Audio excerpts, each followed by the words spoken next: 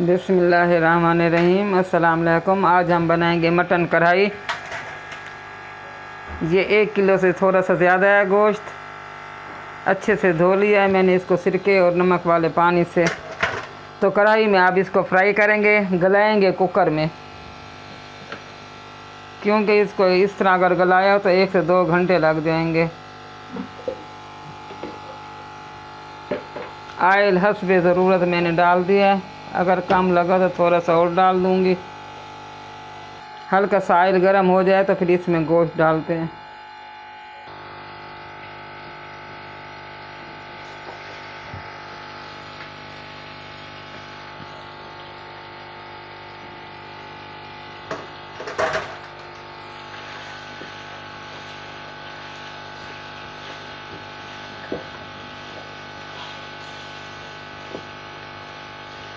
जब तक इसका पानी खुश्क हो जाएगा, अच्छे से फ्राई हो जाएगा तो फिर प्रेशर कुकर में डालेंगे सिर्फ़ अब इसमें नमक डाल देंगे।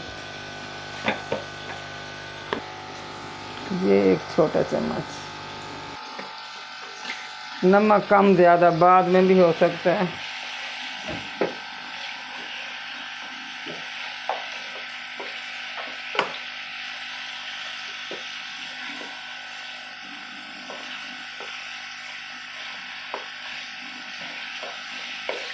और ये खड़े मसाले हैं, दो छोटे तेज़ पत्ते,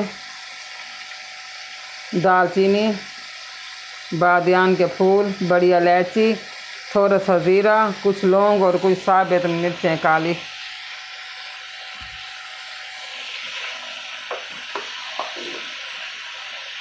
तो फ्राई होने पर मिलते हैं।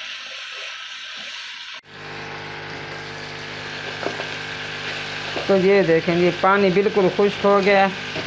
अब ये सिर्फ़ आयल बच गया। अब इसमें मैं डालूँगी दो छोटी इलायची।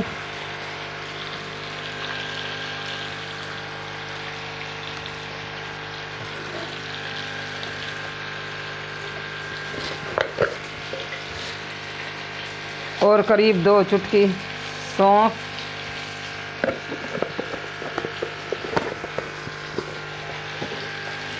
बाकी के मसाले जो हैं वो इसमें प्रेशर कुकर में डाल के गोश्त फिर मैं दिखाती हूँ आपको।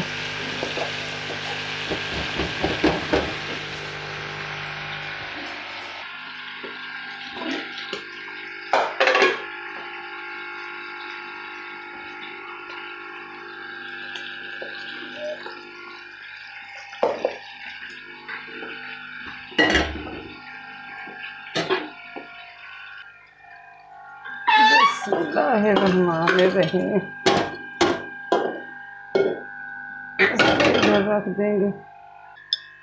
सुरख मिर्च, एक चम्मच सफ़ेद मिर्च पाउडर, एक चम्मच के करीब हल्दी, चौथाई चम्मच कचरी पाउडर, आधा चम्मच जो गोश्त को गलाने में मदद करता है। और यहाँ पर डाल देंगे हम तकरीबन एक गिलास पानी का।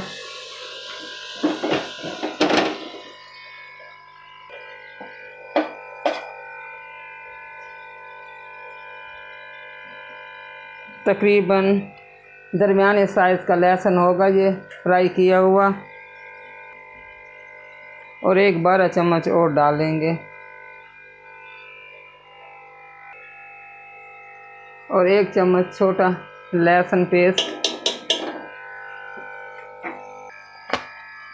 और ये लहसुन पेस्ट तकरीबन तीन टमाटर के बराबर में डालूँगी।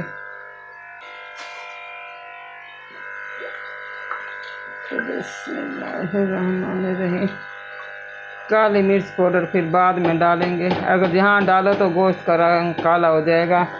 तो करते हैं आप इसको बंद। 20 से 25 मिनट के लिए। ये आप सीटी लगा दिए तो मिलते हैं 20-25 मिनट के बाद।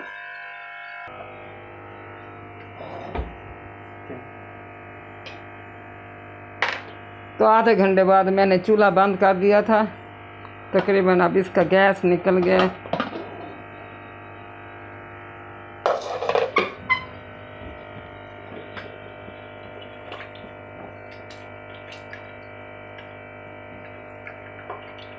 तो गोश्त मेरे ख्याल में गल गया है। अब इसको वापसी कढ़ाई में उलट देंगे।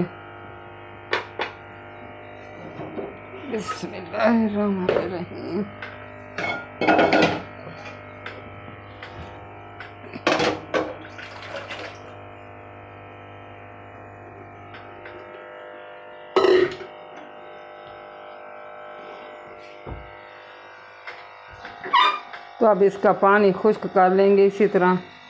जो थोड़ी बहुत कसर है, गोश्त कच्चा है, वो भी इसी में गल जाएगा। तकरीबन इसको 10 से 15 मिनट लगेंगे पानी खुश्क होने में।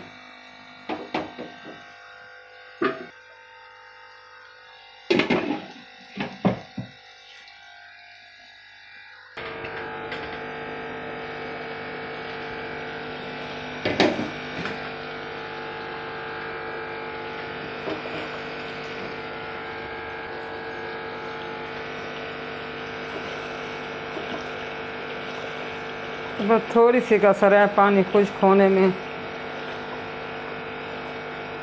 बस पाँच मिनट तक गोश्त भूनेंगे, क्योंकि इसको पहले भी भून के मैंने चढ़ाया है।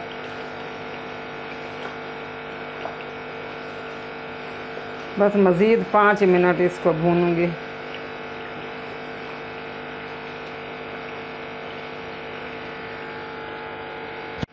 तो इसको बहुत ज़्यादा भून लिया है।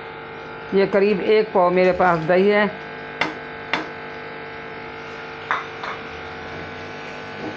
और ये एक क्यूब अदरक पेस्ट का आधा ढक्कन में डालूँगी इसमें सिरके का। ये वाला एक चम्मच धनिया पाउडर, आधा चम्मच काली मिर्च पाउडर अब हल्की आँच पे मज़ीद इसको दो से तीन मिनट के लिए भून लेंगे तो उसके बाद हमारा मटन कढ़ाई तैयार हो जाएगी। तो ये देखें, दही भी अच्छे से भून लिया अब इसमें डालेंगे आधा चम्मच पिसा हुआ गरम मसाला।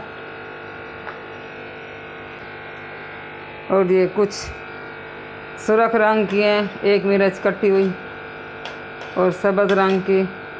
और दो से तीन स्लाइस इसमें मैं डालूँगी लीमू के।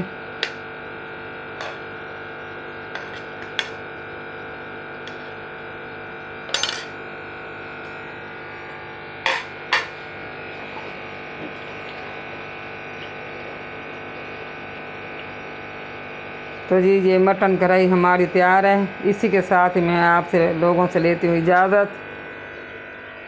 नेक्स्ट वीडियो के तक के लिए अल्लाह हाफिज़। अगर आपको मेरी वीडियो अच्छी लगी हो तो लाइक करें, शेयर करें और सब्सक्राइब करना ना भूलें। दुआओं में याद रखें। अल्लाह हाफिज़।